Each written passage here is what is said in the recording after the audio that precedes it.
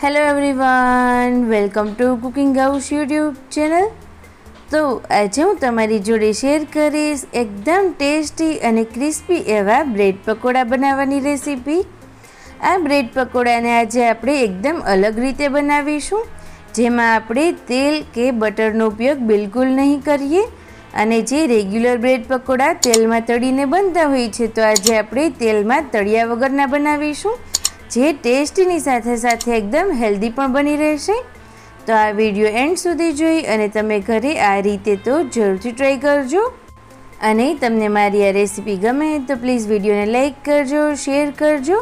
અને મારી ચેનલ ઉપર નવા હોય તો નીચે રેડ બટન આપેલું છે, તેના ઉપર ક્લિક કરો અને ચેનલને સબસ્ક્રાઈબ કરી દો, જે કરવું બિલકુલ ફ્રીમાં છે. બ્રેડ પકોડા બનાવવા માટે આ રીતેનું એક બાઉલ લઈ અને આપણે તેમાં એક કપ ચણાનો લોટ એડ કરીશું. આટલા લોટમાંથી છ નંગ બ્રેડ પકોડા બની અને તૈયાર થઈ જશે. ત્યારબાદ તેમાં નાની કટ કરેલી કોથમીર એડ કરીશું. તેની સાથે જ એક ચમચી જેટલા ચીલી ફ્લેક્સ, તમે લાલ મરચું પાવડરનો પણ ઉપયોગ કરી શકો છો. અડધી ચમચી જેટલું નમક અને અડધી ચમચી કરતાં પણ ઓછી એવી આપણે હળદર એડ કરીશું. ત્યારબાદ એક વખત આપણે બધું સરસ રીતે મિક્સ કરી દઈએ. અને ત્યારબાદ જરૂર મુજબ આપણે પાણી એડ કરી અને આ રીતેનું એકદમ સરસ એવું બેટર તૈયાર કરવાનું છે. જેવું આપણે ભજીયાનું બેટર તૈયાર કરીએ તેના કરતાં પણ પતલું રાખવાનું છે. બેટર બની જાય ત્યારબાદ સ્ટફિંગ માટે મેં અહીંયા એક નવું મોટું બટાકું બાફી અને તૈયાર કરી લીધું છે. આ રીતે પહેલાં આપણે તેને ક્રશ કરી દઈએ.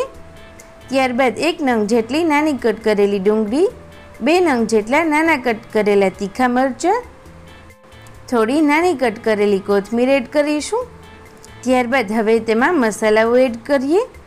તેના માટે એડ કરીશું અડધી ચમચી જેટલું નમક, અડધી ચમચી જેટલું લાલ મરચું પાવડર, અડધી ચમચી જેટલું ધાણા જીરું પાવડર, અડધી ચમચી કરતાં પણ ઓછી એવી આપણે હળદર એડ કરીશું અને અડધી ચમચી જેટલો આપણે ગરમ મસાલો એડ કરીશું.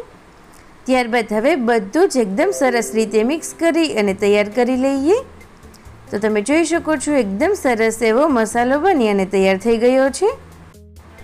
ત્યારબાદ બ્રેડ પકોડા બનાવવા માટે મેં અહીંયા નાની સાઇઝની બ્રેડ લીધેલી છે. આ રીતે આપણે બ્રેડ રાખી અને તૈયાર કરેલું સ્ટફિંગ એડ કરીશું. મેં અહીંયા બે બે ચમચી જેટલું લીધેલું છે. તમને જેટલું પણ જોવે એ રીતે લઈ શકો છો. સ્ટફિંગ એડ કરી અને ત્યારબાદ હાથ વડે તેને એકદમ સરસ રીતે આપણે બ્રેડ ઉપર સ્પ્રેડ કરી દઈશું.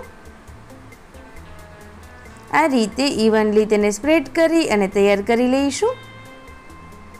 ત્યારબાદ આ રીતે જે બીજી બ્રેડ હોય તેને ઉપર રાખી દઈશું. તો હવે બ્રેડ પકોડા બનાવવા માટે એકદમ સરસ રીતે તૈયાર થઈ ગયા છે.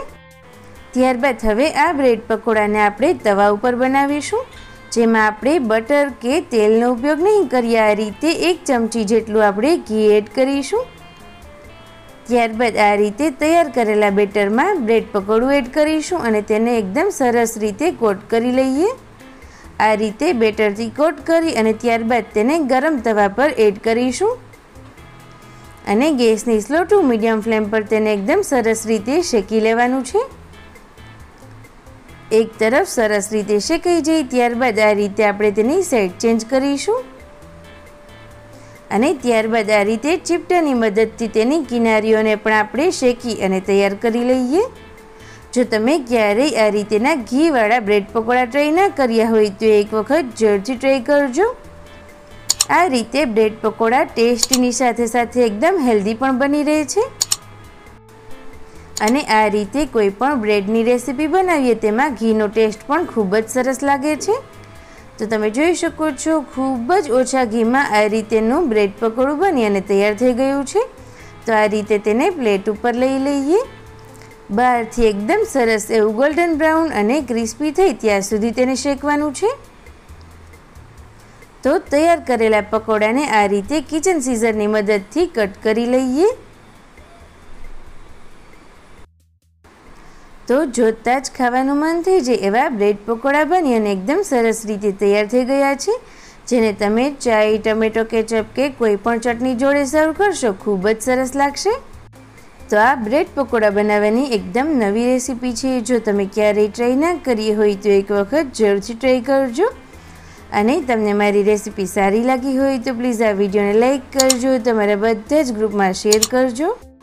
અને ચેનલને હજુ સુધી સબસ્ક્રાઈબ ના કરી હોય તો જલ્દીથી કરી દો. Thank you